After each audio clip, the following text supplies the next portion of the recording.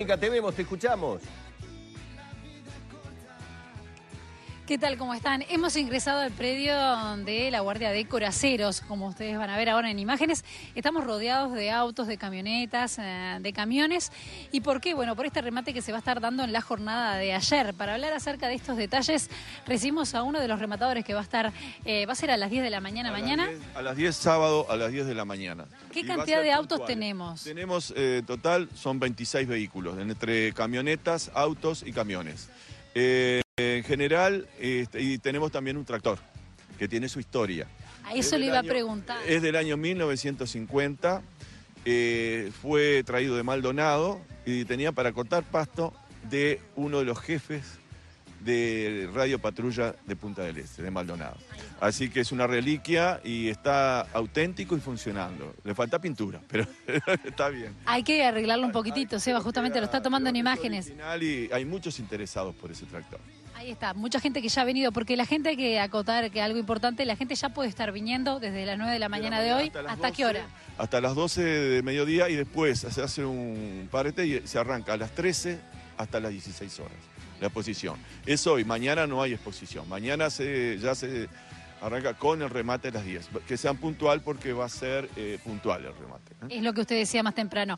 Es importante acotar además de cuál es la procedencia de todos estos autos eh, que van a estar rematándose. Bueno, la procedencia es, es, en realidad es propiedad del Ministerio del Interior, no son autos incautados, sino que estuvieron al servicio en distintas reparticiones, o sea que son autos más cuidados, sé que hay algunos que tienen faltantes, pero podemos decir que tenemos, por ejemplo, un Peugeot eh, 207 que tiene cuatro herbas, que en el Ministerio del Interior creo que hay nada más que cuatro en esas condiciones, este, que es uno, creo, creo que es uno de los este, mejores. Ahí está, no tiene base esto, ¿cuáles No, son los requerimientos para poder eh, estar inscripto en el remate?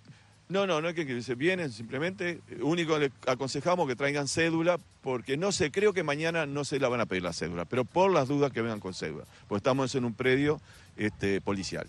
Eh, el- el- ¿Cuál era su pregunta, perdón? Lo que tenía que ver si tenía que estar inscriptos las personas, Ah, cuál no, era no, la base, a- a algún otro público. requerimiento. Es a todo público.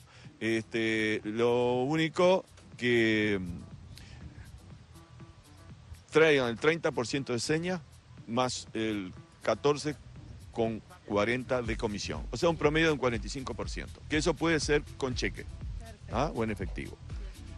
Bueno, estos son los requerimientos entonces que ustedes tienen para poder eh, estar eh, en la jornada de mañana. Ya ustedes ven en, en imágenes, hay varias personas que ya están probando los autos, han venido en familia, han venido en grupos de amigos, estábamos hablando más temprano con ellos, muchos vienen, se acercan y bueno, están entrando a bichar los autos y cuál es la situación y le hacen las respectivas consultas, por supuesto, al rematador que está aquí para evacuar y bueno, decidirse o no mañana por cuál de los autos y hacer la oferta correspondiente a ver quién da más y quién se lo lleva.